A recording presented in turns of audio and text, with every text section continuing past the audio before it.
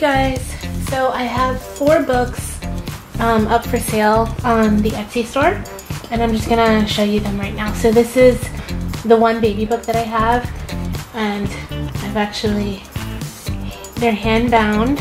So that's what the front looks like, the spine, and then the back. Um, so there are over, I think, 150 pages in this one. And I have some um, some raised paper, and there's a lot of, there's a kind of Winnie the Pooh thing going on.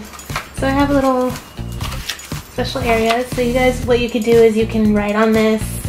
Um, you can put, uh, stick pictures, stick, um, I don't know, little, this is a little tuck spot. You can stick maybe like a hospital band or something in there. Um, so, but it's full of like little, you can stick a picture in here. It's, it's full of pockets and I am going kind of fast though. And so I think this is more of a unisex type baby book. I'm not really one to pick a blue or a pink for a particular gender. Um, but yeah, there's blues and pinks and greens and yellows um, throughout the book. So that's that one. So then I also have uh, this purple one. There's a key here. Um, I embossed with this kind of pattern. It's raised and then I painted over it. And again, it's hand bound as well. And that's what the back looks like. So inside what I actually did is I tea dyed some paper. So it's all kind of old looking, you know. I think this kind of paper is kind of cool. And I made some, created some envelopes throughout as well. So this is more of a writing. And you can stick stuff, like I said, in the envelopes. Um, but there's tons and tons of space to write. And I believe there are about 80 pages in this one. Maybe give or take. But yeah, the pages are all different. I think it's kind of cool. So, and then I do have a couple of like uh, pattern paper. So that's that.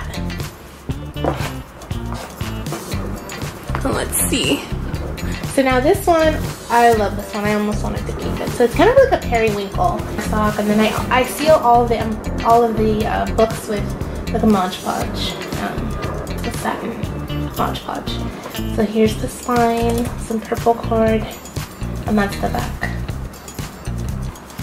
So little tuck spots Again, this is for journaling, for little punches, for, um, you know, sticking little, little things in here. You can stick a picture in here, you can write on this and stick it back in here. You can write on the paper and plus stick something in there. There's pockets. Um, and then basically, it, it's pretty blue, blue, purple, greenish themed, and then some gold. Yeah, and then we have some like fold out papers that I put in there as well. You can use it as a travel journal, everyday journal, and then I like just paper clip some little note cards and things, and there's envelope in there. So yeah, I apologize if I'm going a bit fast. And then little tuck spot, hello beautiful. Um, so, and then I kind of just left this without a tuck spot, just because I thought this was really pretty. I don't know if you can see it with the, the gradient here. Thought was really nice. So that's that one.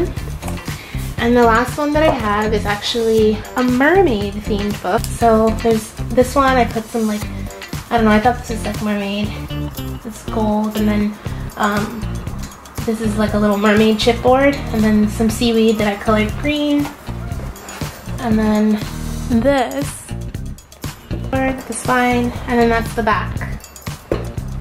So take a look inside. I have the little tuck spots and then this is an area where you can write something in. And again, there's just more tuck spots, more places you can put more stuff for traveling or just everyday journaling.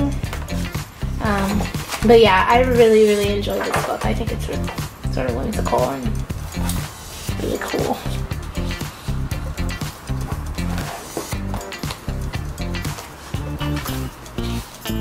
I love, I, I shell the ocean.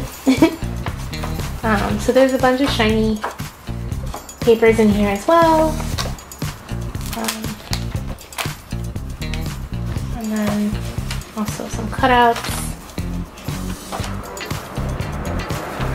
And then I have this, Treasures of the Sea.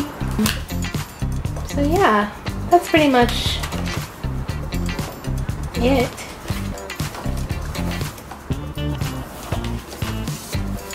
I love this one, it's really nice. And some mermaids. so yeah, and then there's a little tuck spot at the end here as well.